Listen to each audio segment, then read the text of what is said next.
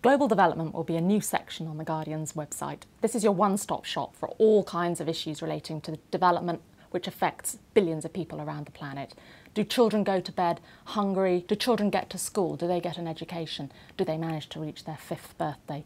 These are the kinds of questions that we will be having right at the heart of the coverage of this site. We'll be asking people from all over the world to join the conversation, think about these issues, talk about them. What are the solutions? Who's going to sort it out?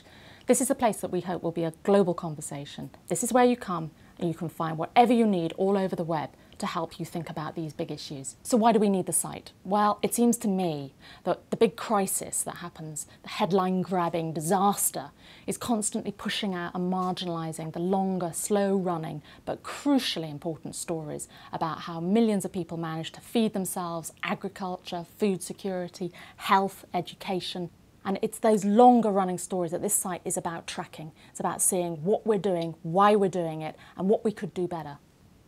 At the core of the site are our expert Guardian writers, Larry Elliott, Sarah Boseley, John Vidal, myself, and they will be blogging on a daily basis about the stories they think are really important, what you should be looking out for and why. So join their conversation, get involved in talking and commenting on what they have to say.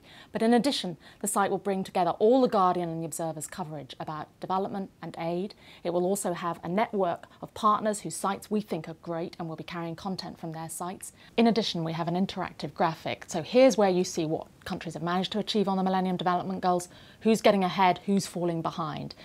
We have a data store. Tap in Pakistan and it scrapes dozens of different data sets from around the world on any particular subject, infant mortality, maternal mortality. And finally, there's a multimedia section where we will be bringing you regular podcasts and video from around the world.